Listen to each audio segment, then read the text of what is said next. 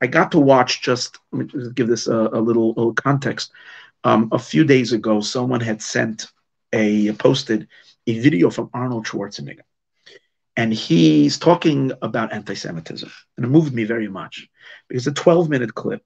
And he, as you know, comes from Austrian uh, ancestry, people that collaborated, and his own ancestors collaborated with the Nazis. And he's talking and he's giving a very strong plea for that people should recognize where anti-Semitism can go and what has happened. He discusses his trip to Auschwitz and what he saw and everything that had been there in the camps and, and this and how unbelievable uh, how it the impact it made on him when he went there and so forth. What's interesting about the video is that he's talking to the he says I'm not making this to people that are uh, that for people like myself to watch, like people, I'm, I'm not preaching to the choir.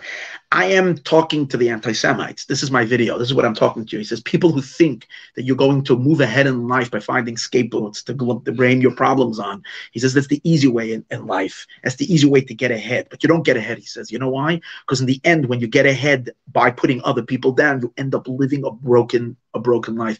He speaks about his own father. He says, I grew up with my father and I saw my father drink his way because he could not bear the pain that he lived with for all of his life. So it's interesting. It's, it's a very powerful talk to the anti Semites in which he's saying, you know what, you might kill a couple of Jews, but in the end, this is you're, you're going to live a miserable existence with holes in your soul on the deepest level.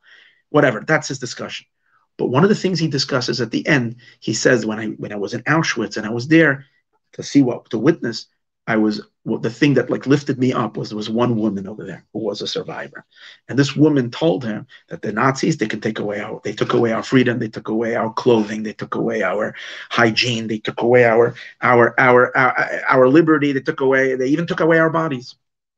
But what they couldn't take from me, she the way in her was they couldn't take my mind. They couldn't take my mind, couldn't subjugate my mind. And what I think it means more is obviously the spirit, the idea that she never succumbed. She never really felt that the Nazi could control her. And the reason for that, but what is the idea behind that? The idea behind it is because embedded in every single Jewish man or woman is a piece of God. And the and and, and the one who is unsubjugatable. Now, this was really from before Matan Torah. We had before we had already from the others, from our forefathers, we had that spark but that spark was not activatable it was not it was not re- revealed in our bodies in our human psyche that we should have access to that to that transcendental essence by Yitzias Mitzrayim by the going out of Egypt God in, God activated it. And how did he activate it? What's the activation of that? The activation of that is because we subjugated ourselves to become servants of God and the in our services servitude to God, we preclude all servitude. Why? Because our servitude to God means we become servants of Him. The servant belongs to his master completely, so much so that the servant is the identity of the master. Sages say Yad Eved ki Yad Rabbi, or Eved Melech Melech. Translate that: the hand of a servant is the hand of the master. The the the the servant of a king is a king. So what that really means is that a Jew that that and the fact in this itself that we surrender ourselves completely to Hashem to be it's not just we will do godly things but we see ourselves as his boys and his girls as his subjects as his people as his servants in which our entire identity is to live for him then our existence has suddenly been uplifted to become divine in the sense that we are now included in God's infinity.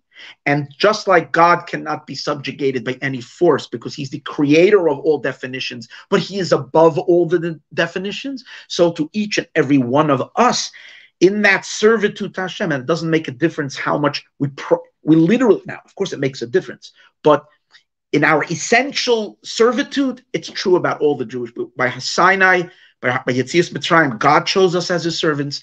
By Har Sinai, by Sinai, we chose God to be his servants. That connection is an absolute bond that can never be eradicated, can't be changed. And the proof to that is had we been really shattered, had we really been slaves, had we really been able to be subjugated by the Nazis, by the communists, by the Romans, by the Inquisition, had we really been, and as they then explained to me how 50 60, 70, 80 years later, after such inc- unbelievable crushing experience, the Jewish people swing back and we swing back with such power, with such energy, with such unbelievable uh, to the point that that that Jews and the Jewish people are so relevant in the world, so powerful in the world. The news is constantly about Jews. It's con- it's like again to the peaks of importance from being literally uh, thrown under the bus is not even the word. Completely. How did it happen? It's because even when we were in the in the depth of Auschwitz, the Jew's spirit never caved in because essentially a Jew can't be subjugated to anybody because there is someone who we're subjugated to before that or deeper than that. And once you are already belong to someone, no one else can take you. If that if that being is God. So in this case, that's what Hashem says, Shtari we went out of Egypt, what does Moshe say?